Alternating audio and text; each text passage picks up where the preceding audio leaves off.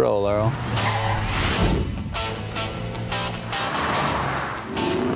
Hey, boss. Pull over up here.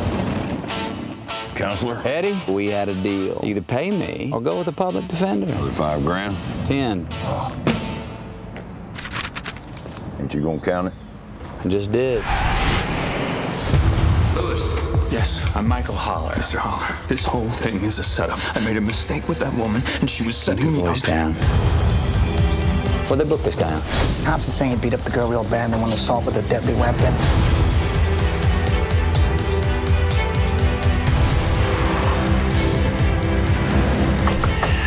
Are you sure there's not anything that you're not telling me?